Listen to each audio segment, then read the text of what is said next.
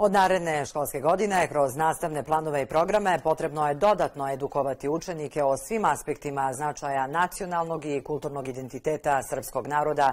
Poručili su to ministarka prosvete i kulture Republike Srpske Natalija Trivić i direktor Republičkog pedagoškog zavoda Predrag Damjanović.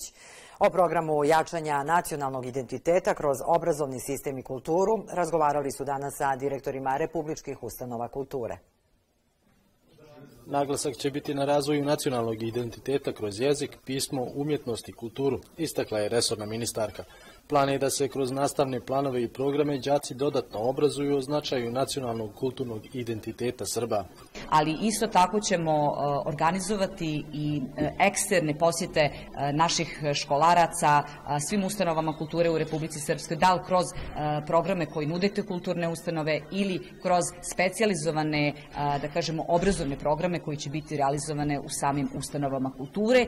U kulturnim ustanovama insistiraju da posjete budu obavezne i da budu organizovane za iz udaljenih mjesta. Školske planove i programe smatraju potrebno je prilagoditi vremenu u kojem đaci uče, odnosno neophodno je sadržaje đacima predstaviti na njima prihvatljiv i zanimljiv način. Prilikom obilaska spomen sobe e, Petra Kočića djeca postaju radoznala, djeca postavljaju pitanja, djeca izlaze sa određenim impresijama i ono što je najvažnije sa osjećajem nacionalnog ponosa. Direktor Republičkog pedagoškog zavoda istekao je da je neophodna saradnja svih relevantnih ustanova u ovoj oblasti, kao i da kulturne ustanove moraju da budu dostupne svim đacima ali također da ustanove kulture budu spremne, da u sva ona mjesta daleke škole koje nisu u mogućnosti iz mnogih razloga da dođu u svoju kulturu da budu spremne otići u te škole i to je sigurno će biti za to tu školu i za to mjesto i za to selo biti jedan poseban, poseban e, događaj.